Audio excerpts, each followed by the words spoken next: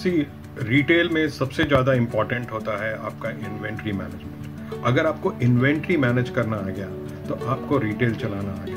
आपके पास अगर सौ रुपये एज ए कैश है, और अगर आपको उसको इन्वेस्ट करना है तो आप कहाँ करेंगे?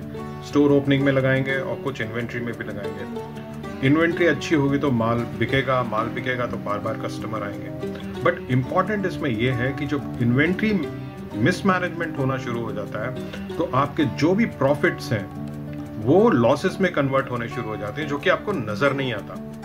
और उसको ठीक करने का सबसे अच्छा तरीका है कि अगर आप डेटा ड्रिवन ऑर्गेनाइजेशन है, आप एक प्रोफेशनल रिटेल प्रोफेशनल के साथ काम कर रहे हैं तो शायद आपका जो स्टोर है, वो परफॉर्म करना शुरू कर दे।